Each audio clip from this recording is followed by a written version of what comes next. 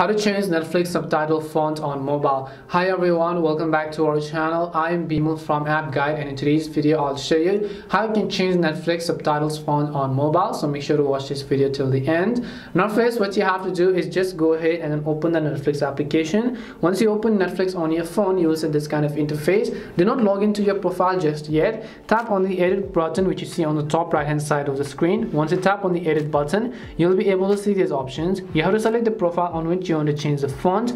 And once you select it up you'll find the option that's subtitle appearance. So just tap on subtitle appearance over here. Once you do that you'll be able to see all these sorts of options such as text size text color text edge style text edge color background color transparency windows and so on. Now this is basically the way to go ahead and change the text size. But keep in mind that there isn't an option to change the font from the Netflix application. So we can also try to go ahead and then log in from our browser. You can just go to Chrome and you can go to Netflix over here.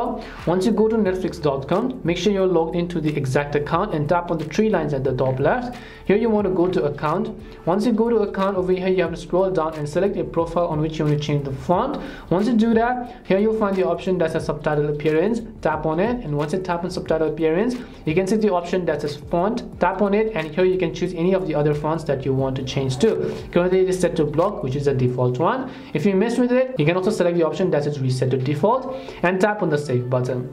That's all it takes to change the subtitles or your font on Netflix. We hope the video was really helpful. If it did help you, make sure to leave a like and subscribe to our channel. And if you've got any more questions, make sure to also leave them down. Thank you very much for watching and see you soon in our next video.